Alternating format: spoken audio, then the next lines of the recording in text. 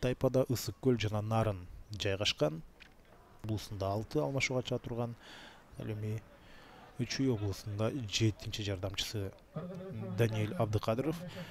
Резервдеги арбитр болсо себеби бишкектин оюнчулары баткендик атаандаштарын аралап бул марсель убайдуллаев үчүн чоң маселе бул эмнегедир каршы эпкинден кармагысы келген бирок коргоочу азыр эреже бузуп дарбазачыга командасына ылдам каршы чабуулду кабыл алып албайлы деген. Республикасынын кубогу он беш жашка чейинкилер арасындагы өспүрүмдөрдүн турнири ош облусунда мүмкүнчүлүк жана линияга жеткирбей топту сезондон бери алар мына биздин ушул өспүрүм жаш спортчулар бул өтө маанилүү. Демек буга чейин жанагы калыс эскертип мындай татаал бурушка үч оюнчунун кереги жок. Тагыраак үч тосмонун кереги жок. Түз эле дарбазаны көздөй.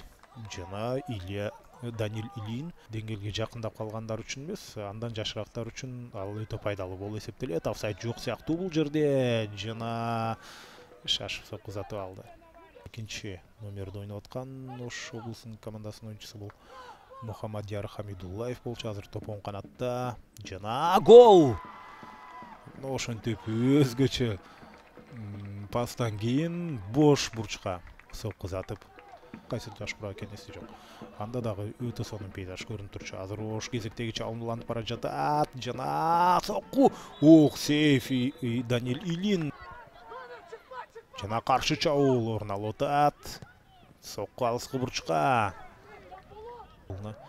креативдүү жүгүрткөн техникалык жактан чебер кыска пастар менен ойногон дриблинг менен ойногон оюнчулар өтө маанилүү азыр болсо эки оюнчунун курчоосунда карабастан сокку гол. Муну ошентип гол жаратып кетти кутман назаралиев эгерде жаңы болбосом топ ишке ашат жакынкы буручка неченчи ирет мындай көрүнүш? Эреже бузуп эмеспи бул жакта? Жок аны каттаган жок сокку. Ошентип эми оң канатта. Топ сакталууда айпанттын ичине чейин кандай ишемдүү кирип баруу? Офсайдпы кайрадан? Ичинде пайда болуп калган деле бул. Өзгөчө көрүнүш дейм. Азыр болсо ошентип. Биринчи тайм соңуна чыкты эсеп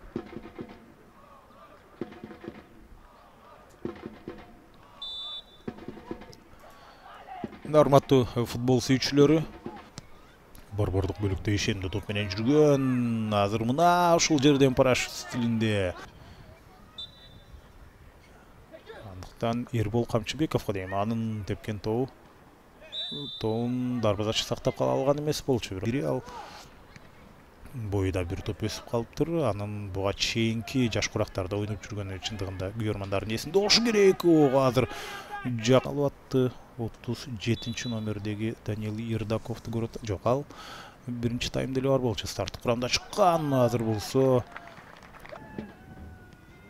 беттеш дээрлик мына бир саатка жакындап калды ал мезгилде оштун оюнчулары бул жакта пас бергенге мүмкүнчүлүк бар болчу бул ирет дагы ошондо болжол менен